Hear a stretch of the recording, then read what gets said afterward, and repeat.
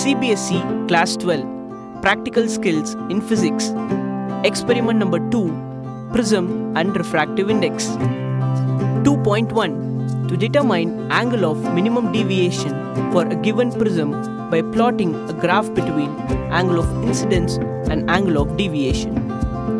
Aim to determine angle of minimum deviation for a given prism by plotting a graph between angle of incidence and angle of deviation. Materials required drawing board, white sheet of paper, pencil, glass triangular prism, drawing pins, meter scale, graph paper, and a protractor.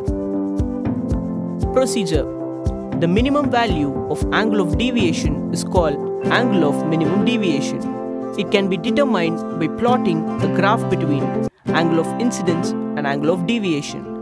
The lowest point of the graph gives the value of angles of minimum deviation. Drawing incident ray. Fix a white sheet of paper on a drawing board with the help of drawing pins.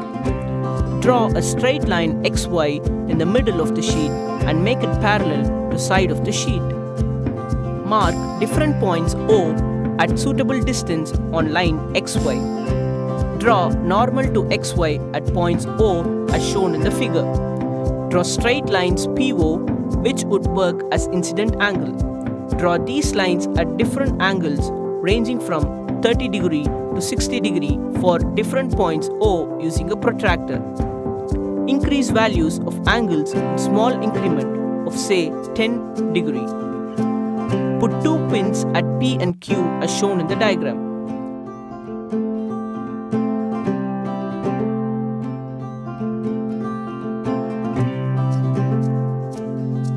Drawing emergent ray. Now place the prism so that one of its refracting surface like AB of the prism is in line with XY and trace the boundary ABC. Try to see the image of pins P and Q through side AC of the prism such that the tips of the pin P and Q are on the same straight line. Place two pins R and S where image of the line PQ is formed. Tips of pins P, Q, R and S should lie on the same straight line. Measurement of angles of deviation.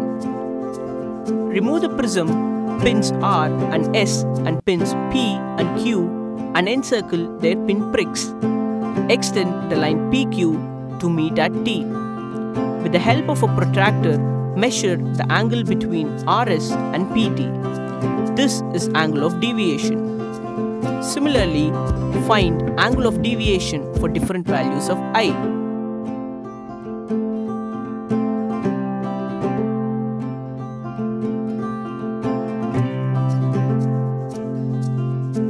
Plot a graph for angle I versus D. The lowest value of angle of deviation on graph give the value of dm. Measure angle BAC in a boundary of the prism. This is angle of prism A.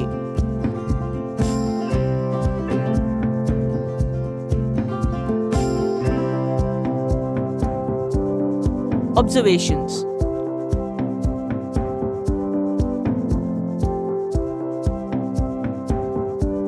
Result Angle of minimum deviation dm is Refractive index of the material of the prism n is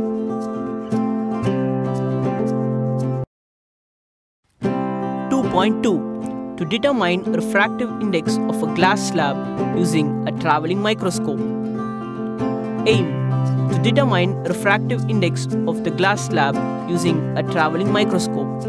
Materials required given glass slab, traveling microscope, a marker, lycopodium powder.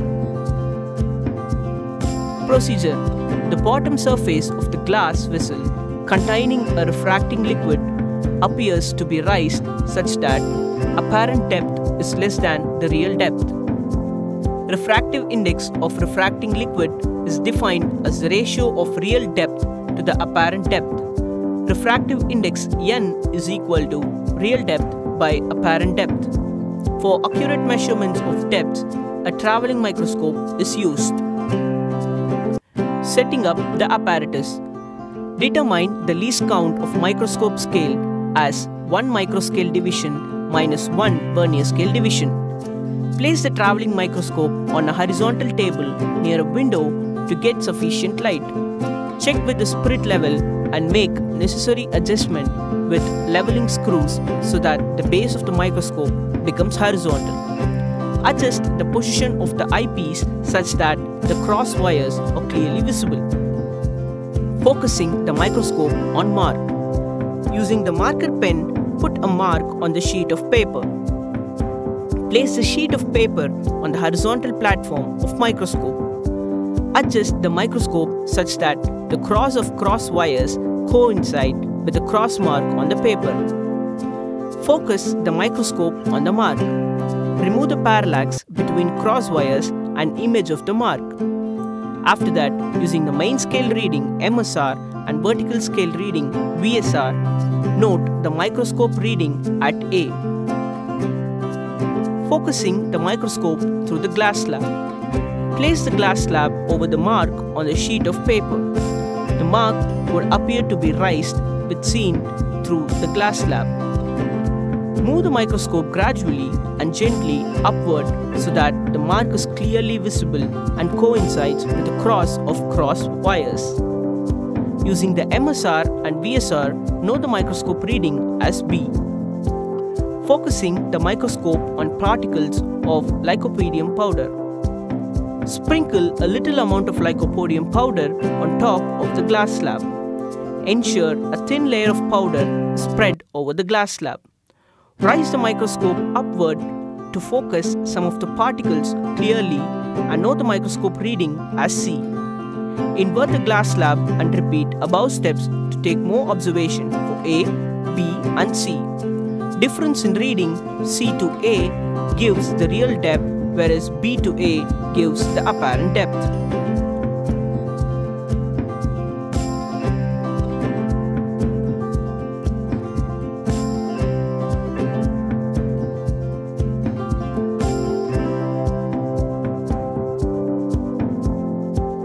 Observations and calculations.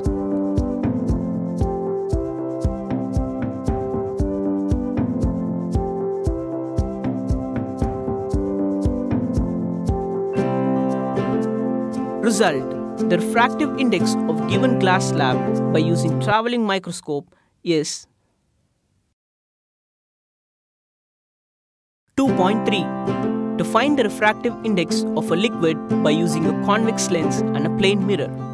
Aim To find the refractive index of a liquid by using a convex lens and a plane mirror.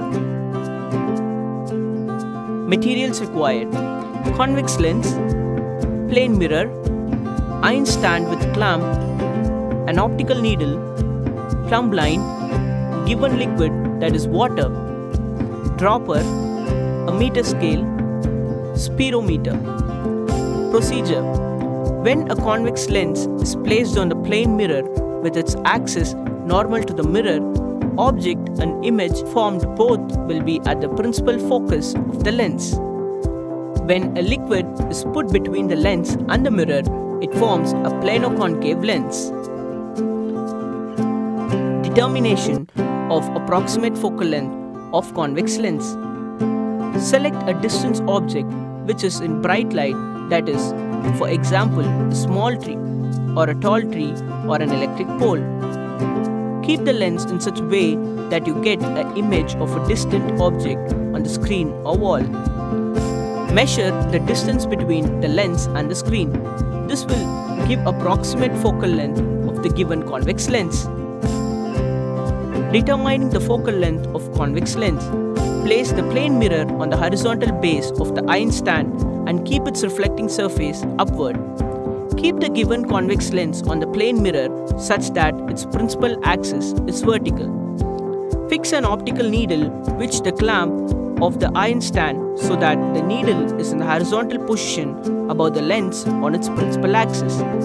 Move the optical needle up and down so that the tip of its image coincides with the tip of the needle. Remove the parallax between the tips.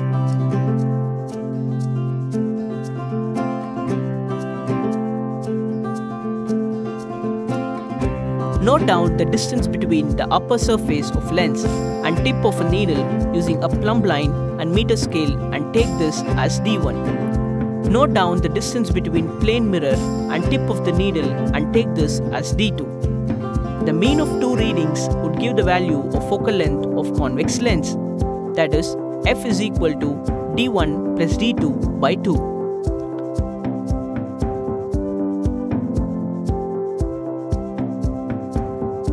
determining the focal length of plano-concave lens formed by water. Fill the space between plane mirror and the lens with water. Use a dropper for this purpose.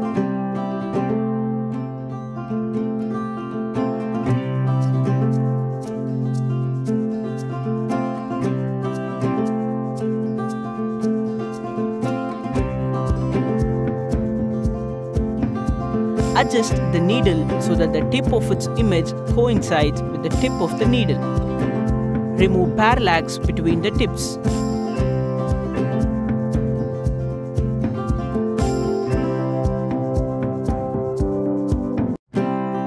Measure the distance d3 between the tip of the needle and top surface of the lens. Measure the distance d4 between the tip of the needle and plane mirror.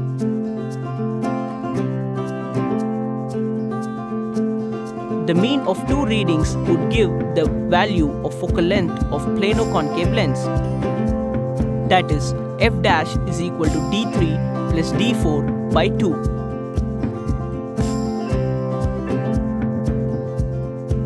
Observations